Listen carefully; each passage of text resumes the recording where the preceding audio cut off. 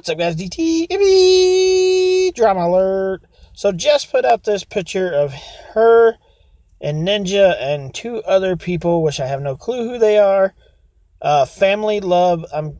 I don't know if this girl is his sister, maybe, or his girlfriend. I don't really keep up with Ninja, but I keep getting people asking me to follow her and do these little things that I do in these videos on her uh, account. Um, so tell me, guys, is she Ninja's girlfriend, Ninja's sister? What is she to Ninja? Comment below and let me know.